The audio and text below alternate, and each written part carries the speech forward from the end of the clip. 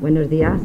El motivo de que estemos hoy aquí es anunciaros que a partir del sábado 6 de junio se reanuda el mercadillo tradicional de los sábados y miércoles aquí en Novelda. Sabéis que han estado tres meses los pobres sin poder instalar y bueno, y llegando que estamos en la fase 2, pues hemos decidido volver a, abrirlo, a reabrirlo con el, 100%, por el aforo del 100% de todos los comerciantes. Para ello, pues hemos tenido que hacer algunos cambios en lo que son las calles del mercadillo. Por ejemplo, los puestos pares serán trasladados a las ampliaciones de la calle Colón y Almoina para que puedan estar todos allí. En la calle Almoina, la que entra directamente al mercado, esa se va a mantener como ha estado en las dos últimas semanas, con solo con las flores y las terrazas, con el fin de evitar que se acumule mucha gente ahí entrando y saliendo del mercado y en el propio mercadillo. Esto todo ha sido consensuado con un grupo de comerciantes que, estuvieron, que tuvimos ayer una reunión aquí en Novelda y a los que quiero agradecer su colaboración y sus ganas de, de, poder ayudar y de aceptar las, las normas que estamos estableciendo, porque si no hubiese sido por ellos, pues probablemente esto hubiese sido mucho más complicado.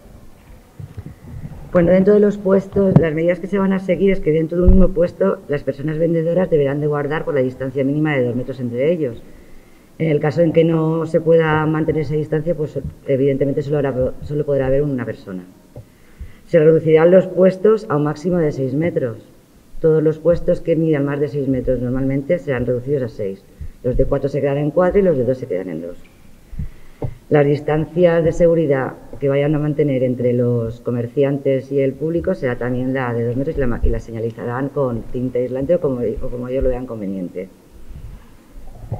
Entre los puestos colindantes, en el caso de que no se pueda establecer la medida de seguridad porque realmente no tenemos tanto espacio, van a ser cubiertos con hules que ya lo están haciendo en diferentes mercadillos y así ellos no se, no se encuentran un comerciante con otro. Un comerciante de un puesto no se, ve afectado por el comerciante del de al lado. Únicamente las personas vendedoras podrán tocar los productos. Y para ello, pues bueno, en cada puesto se les exige que exijan la mascarilla puesta, eh, utilizar el gel, el gel, hidroalcohólico, que tengan pañuelos para poder limpiarse y una papelera, si es posible, con el pedal basculante para que no tengan que tocarlo.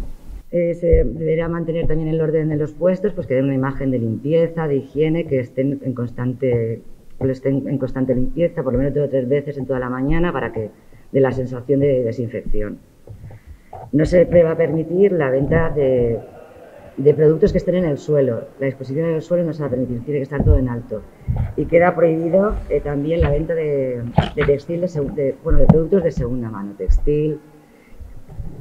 En el caso de que una persona tenga que hacer una devolución o se pruebe una prenda y no le quede bien, pues esa prenda debería pasar a cuarentena o desinfectar bien antes de ponerla a la venta.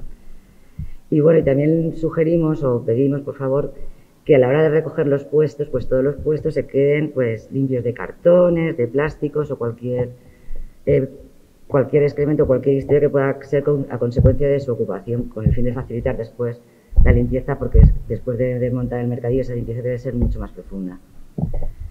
Y bueno, y por último, todos los vendedores deberán demostrar la acreditación como que están autorizados por el ayuntamiento.